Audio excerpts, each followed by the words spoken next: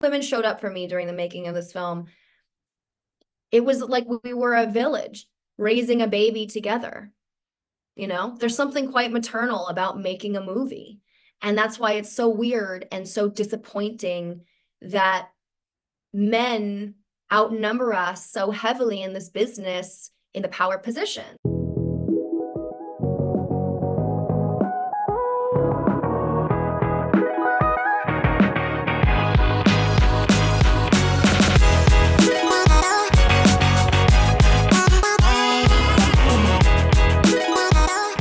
Hi, Leah. Hi, how are you? I'm doing fine, and you? Doing good. I think you're my last my last interview of the day. Okay, that's good. Thank you so much for your time. A pleasure to meet you and to talk to you and to talk about Scrambled that I laugh, I cry, Yay. I relate some of some of the parts, but it's it's it's amazing and uh, congratulations on your director debut and everything that will be accomplished with this movie. so much. Thank you. Yes, yes. And you, I'm part of the Critics' Choice as well. I'm part of the You Must Commit. and you received that. the SOFEE Seal. How excited was that for you? Look, I I was speechless. I didn't even I it's an honor, a huge honor because I just want to make movies about women and what it is to be a woman and that's all I want to do in life for women. So it's amazing. That's amazing. So the I know the inspiration is very personal for you and it's your own experience, your own like experience from uh, the woman around you. How but how much is is you on on the movie and how much is your friends or people that you talk about it? it's even hard for me to know sometimes what is me and what is my so i was just i just saw it for the first time with my family. I went home to san francisco and my parents saw it for the first time. My brother saw it. It was really crazy. And they know what's real and you know what are my friends but a lot of it is you know it's my experience of my freezing my eggs. It's my experience of feeling like i ran out of time to achieve my dreams in some ways but you know my my best friend was actually pregnant at her wedding and someone very close to me did have a miscarriage. And it you know dating all of these got different types of guys is all real. Um i didn't end up at the end of my egg freezing journey with a boyfriend. That was true you know all of all of it is real to me in some way, you know, whether it's literally what happened in my life or a heightened version or just, you know, the women around me telling their stories as well. I love that you half Latina, half yes. Scottish. Irish. Yeah, yeah, I love that. And I love that you brought Laura to to play your mom. How was like what was about her that made you do that? Well, my mom is an immigrant from Nicaragua. So the immigrant experience is very dear to my mom, very important to my mom, very important to me. And I said I want a Latina actress that is an immigrant herself. And that's hard to find for some reason. And I was like, why is it so hard? Maybe because a lot of the the famous Latina actresses are in Latin America and not necessarily here in LA or, you know, Sofia Vergara, like J Lo, like we've got some of them here, but I feel like it was difficult. And I also wanted a woman that had the warmth of my mom because my mom feels like home. My mom is home. So a tall order for an actress. Um, but Laura is from Mexico. You know, she's an immigrant herself. She's she's younger than my mom, but she just has this beautiful warmth. She doesn't have any children in real life, but she feels so maternal to me. And I would just hug her while we were shooting. And I would just kind of hug her. She felt like my real mom at times and I just loved her and I just thought she was so beautiful and I I just something about her felt like family. So I thought I'm going to go with the actress that feels like family to me. Yeah. Yeah, I can so some scenes I want to hug her, and I... when she tells the the dad uh, Clancy to no stop it, párate, todo, everything was, was amazing. And as a director, what was your your biggest challenge? Because you're first time director and you're an actress, but you have that experience there. But what about this director part? What was like the challenge for you? The biggest challenge was not being able to watch my own performance. Was I would be watching my actors. I'm watching them act. I'm watching, you know, I'm directing, but I can't watch myself and I can't review footage or I'm going to not make my day. You know, I'll go over time. So it required a lot of trust in myself. And that's hard at first, you know in the beginning you don't feel like you have any business being the director anyway. Um and i felt like i was kind of out there to sink or swim. And the beauty was that at night i would watch my footage every night for hours until i fell asleep. And then i would just go okay i'm getting it. It's happening. It's happening it's all happening but it was that was the hardest transition that you in the i'd done two short films as a director and they were much smaller productions and i was able to review footage and i you know it i was able to watch myself a little bit more than i was on this one. There was too much going on and the schedule was too tight. So i'd say that was the toughest thing was believing that I was able to handle all of the roles. That's amazing. And why did you decide to to direct your own script? When that that it was the you wanted that since the beginning was something that came afterwards?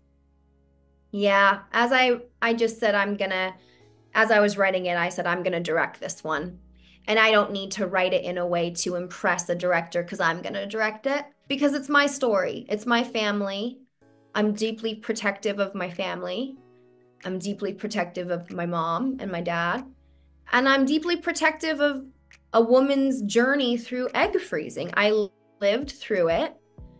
And I'll be very honest how many female directors in this town that are available have also frozen their eggs. You know what I mean? It was like such a specific, and are Latina like me. You know, I'm nope. biracial. It's a biracial role. It's a Latina mama. Like, there's a lot that I felt needed to be needed to get. We needed to get right. I, and I just said, this one is my life. It's my story. I'm not handing it over. I'm done handing it, it over. And I'm so glad because once I was in it, you get even more protective.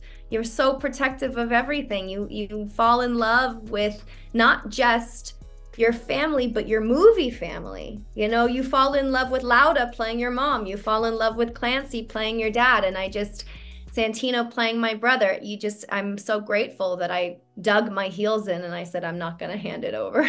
I'm glad you did not because it, it's such a it's such personal. That's why people relate to it. That's why we cry, we laugh, and then you want more of the story. You know what I mean? I watched the movie like three times. so and and yes, yes, I watched the first time like a link that Adam sent to us. That link I watched twice, and then I watched again to do this interview with you because I think it's so like so relatable. Even though I didn't have my ex freeze, I just had some up some miscarriages, but everything's so relatable and, and it's amazing. It's amazing. And you should write more stories that we can relate to. Thank you. And thank you for sharing that because I feel like miscarriage, loss of pregnancy, not wanting children, postpartum, fertility struggles, for some reason they're always told so dark, so heavy. Nobody wants to watch that because you just feel you're in pain. And I just thought, what if we just talked about all of it? Let's just talk about all of it. Let's laugh through it. Let's cry through it together. Let's feel, let's hold each other. Someone very dear to me had a miscarriage and it was painful, you know, very painful. Yeah. So thank you for telling that. But I guess more than anything, I think the shame that can come with some of these experiences are is a killer. So I want to remove some of the stigma, remove some of that shame. And I think the only way we do that is by talking about it. Yeah. Oh, yeah, absolutely. And mine was, I, I can tell you, I'm gonna tell you, it's like I, mine was three miscarriage, Wow. and I have one amazing boy that he's gonna turn 13, Amazing. and I'm it's so sorry about, you know, I read that somebody was saying that when you have these miscarriages and then you have a child, everybody's like, well, you have your child. So it doesn't matter that you have miscarriages and it's Uh, do matter. you know, because you're like, no, I did lose many, I lost three, right? And it's so Yeah. painful to not have that acknowledged that you went through that three times. And it's beautiful that you have your child, but that's a different thing. It's a different experience. So I Yeah. feel you. I haven't been there, but I, I've, I, my friends have, and I've been there to support them, and I know how hard Yeah, it is. thank you. Thank you for for like being supportive in in in in this and showing the world that it's not that easy to to have a miscarriage, to have to I don't know, run of time to to have kids and all that.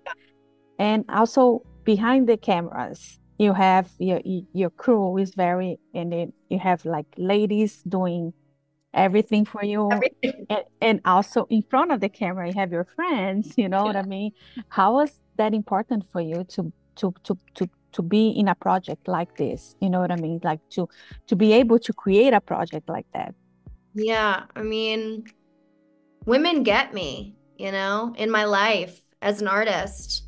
I feel very, very seen by women, you know, and I want to work with women. Women work their butts off and they and they are supportive and kind in in all in all the way the way the women the way that the women showed up for me during the making of this film it was like we were a village raising a baby together you know? There's something quite maternal about making a movie and that's why it's so weird and so disappointing that men outnumber us so heavily in this business in the power positions you know because there i think that women have a lot of skills that are perfect for filmmaking you know? They are used to multitasking. They are used to pain. We have pain every month. We give birth to children. We are hardcore. We can handle this. So i'm just anytime i'm in a position to hire women i'm going to hire women i love that i love that and and also uh, i want to ask you like to if you have an advice to give to the ladies out there that want to pursue a career in this business what advice would you give to them I would say if you build it, they will come. You cannot wait around asking for permission. To thine own self be true. Believe in your own story, whatever it is. The weirder, the more unique, the more niche, the better. You don't want to come to this business and just make what they want you to make. You're not going to make a mark. You're not going to do anything to be proud of if you just keep trying to make what they are telling you to make. So, listen, most your North Star needs to be your own voice and your own call to to to action, you know? And I just want women everywhere to not believe, to know that they can be themselves and find success here. And that's one thing that I'm quite proud of in my career is that I've done a lot of chasing and trying to get people to like me and and and bosses to say yes to me and begging for work and begging to be seen as a filmmaker.